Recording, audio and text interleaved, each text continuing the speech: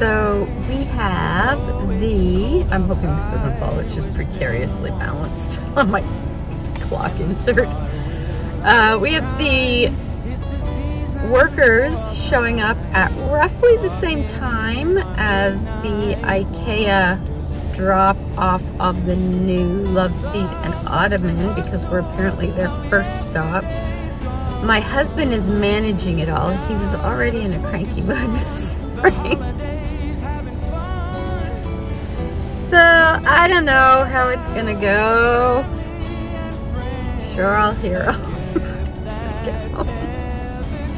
So I have to leave work at around 2, 2.30 to get home in time to uh, spell him off because he has a 3 o'clock appointment across the harbor over in Halifax. And I think the worker will still be there because he has to do one coat of, another second coat of drywall, let that dry, and then come back and do the third coat. And then that's it for that. And then the painting starts, which probably won't be until tomorrow.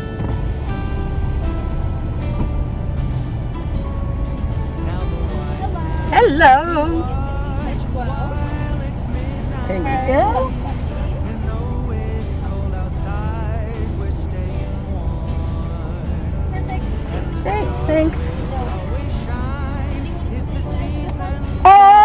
That's all right. That's okay. Yeah. Thank you. Oops. I feel like I'm all like klutzy today. Thank you much. Maybe the crafting will help. Yeah, I hope. See ya. Okay.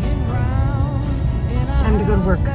So, just had a call from IKEA saying they were finishing up a delivery and should be at our place within the hour, which is funny because when we got the message from them yesterday, it was like we were the first delivery. So, I don't know. Anyways, last night we had a wicked uh, wind, lightning, and thunderstorm, which I was, uh, like, I was knitting for like part of it, and then it calmed down. But apparently, it went on all night, according to my husband, and kept him up, which is probably why he's so cranky this morning. But yeah, so the delivery should be there within an hour. I'm actually really nervous about that because I just don't know how it's gonna go. I have to get to the office. Uh, I'm just in the parking garage right now. It's sunny, but it's really windy out. So usually if it's half decent out, I'll just park outside by the um, side door that goes right up to our office. But I don't know what the weather's to do today. So I am going to park underground where I am. And there goes the property manager seeing me talk to myself. I'm not talking to myself, to so here's the big boxes of the furniture that arrived. They tried to leave it at the door and not bring it inside, but my husband um, made sure that didn't happen. So this is the love seat we got. And it comes in two boxes. So there's this one and this one. Then this is the ottoman. And then this is the cover for the ottoman. And this is the cover for the love seat. So as you can see, there's really not a whole lot of difference in the, even though this is like dark gray and this is supposed to be black. So I think that's gonna look fine.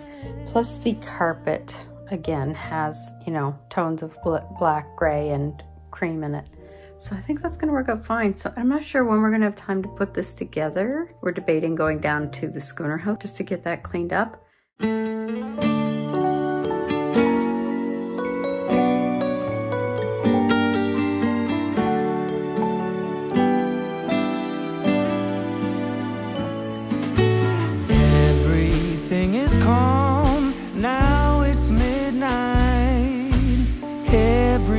Nobody's sleeping, all is peace.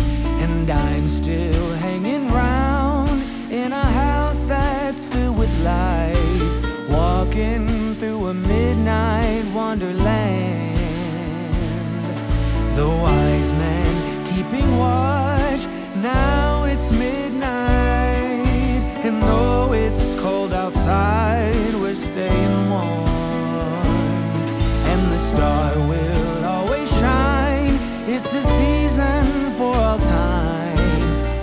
Season